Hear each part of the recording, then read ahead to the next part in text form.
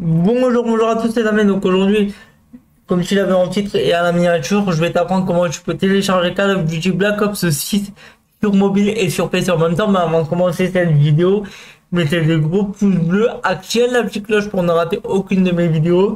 Et voilà, au cours de ce tuto, si tu as du mal à l'installer aujourd'hui, n'hésite pas à me suivre sur mon Instagram, le guide de star tu me connectes, tu te, tu me connectes, tu t'abonnes, tu m'envoies un message, tu me dis écoute de star, j'ai suivi ton tuto, j'ai du mal à l'installer, est-ce que tu peux me donner un coup de main et je le ferai volontiers. Donc en tout cas j'espère que cette petite vidéo va te plaire et voilà si elle te plaît n'hésite pas à t'abonner, mettre un pouce bleu, c'est très important pour moi et pour toi c'est gratuit.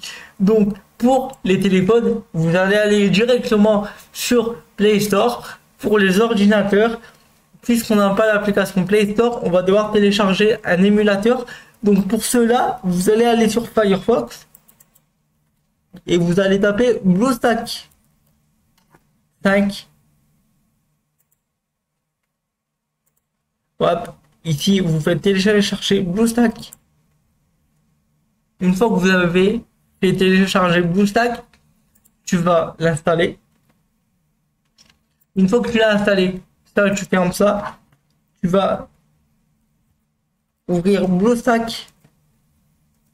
Donc, pour les premières fois, si tu ne l'as jamais installé, quand tu vas aller sur Play Store, il va te demander de mettre une adresse mail, mot de passe, etc. C'est exactement pareil sur euh, téléphone. Donc, pour cela, ensuite, dans Play Store, on va taper Call of Duty.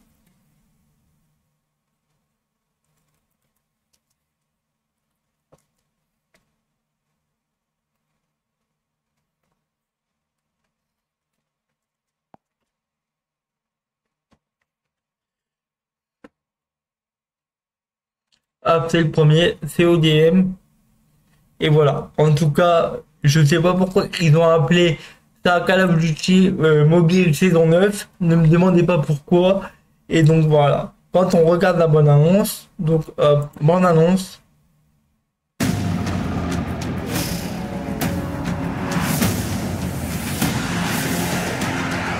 Ok, c'est cool.